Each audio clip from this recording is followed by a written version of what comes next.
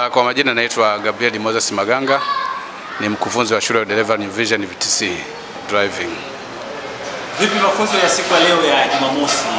Umezungumza sana kuhusiana na eh, somo la eh, udereva wa kujihami. Kipi hasa ambacho zaidi kimekuwa kikizingatiwa na kuhakikisha kwamba tunajenga katika msimamo hiyo wanafunzi ambao wanasoma udereva hapa New Vision? Uh, tumejifunza kuhusiana na udereva wa kujihami, maanake tunaona udereva ni wa kujihami ni nguzo ya kuweza kuzipunguza ajali au kuziondoa kabisa. Kwa sababu tunaona, tunaona ajali nyingi zinatokea.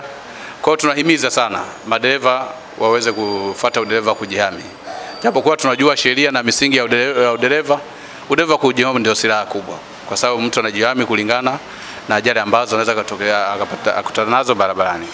Kwa sasa ajali zimekuwa ni nyingi sana, hivi zinaweza zikawa zinatokana na watu kutokuwa na elimu ya eh, usalama wa barabarani au ni ile tu watu kupuuzia? Ah, hiyo inaweza ikawezekana kwamba watu kutokuwa na elimu, lakini sio sio kihivyo, japokuwa ni watu tu wanapuuzia. Unajua sisi binadamu tumeumbwa kupuuzia vitu. Mtu anaweza kawa anajua sheria, anajua kanuni zote, lakini anaamua tu kufanya upuuzi. Lakini kuna ajali nyingine zinatokea kwa watu ambao hawajui sheria na hawajui hawajawahi kusoma masuala ya udereva, amejifunzia mitaani na unaendesha vyombo vya moto, yani huwezi kuwazuia kwa sababu ni kitu ambacho leseni wanao, utawazuiaje? Umeona? Kwa hiyo ajali nyingi zinatokea kwa watu kupuuzia tu. Mtu anajua, anamfundishwa kila kitu, namna kuzuia ajali, kutumia udereva, kujihami, sheria nazo anazijua, alama anazijua, lakini anafanya upuuzi tu.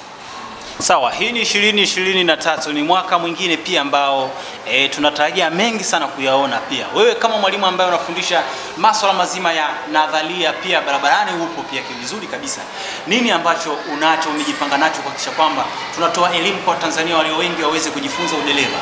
Ah, cha kwanza tunaomba madereva wote waweze kutu, kutumia kufuata sheria, kufuata kanuni na udereva kujihami pia, ili waweze ku, ku, ku, kuzipunguza ajali, kwa sababu ajali zinaua sana watu wengi, zinasababisha majeruhi. Ili ajali kuzipunguza, tunapaswa sisi madereva tushikamane, tuzidi kupaza sauti, tuwaelimishe pia na wale ambao sio madereva na watumiaji wengine, ili tuweze kuhakikisha usalama barabarani. Kwa mwaka 2023 uh, mimi najipanga kuhakikisha naendeleza kile ambacho na- nakifanyaga miaka yote. Mimi sitaki ajali nisababishe ajali. Umeelewa? Na hata kama nasababishiwa ajali, nisababishiwe ile ajali ambayo mimi mwenyewe labda imenishinda, lakini iko ndani ya uwezo wangu. Sitokubali ajali itokee. Nitapambana, nitaelekeza wanafunzi wangu namna ya kupambana kuzizuia ajali, ili mradi tu tuhakikishe kwamba 2023 ajali zipungue ili au zi- ziishe kabisa, kwa sababu ajali tumekeleka tume, kuzisikia kila siku. Mara utasikia leo huko Mbeya gari ime- imepata ajali imeua watu 19.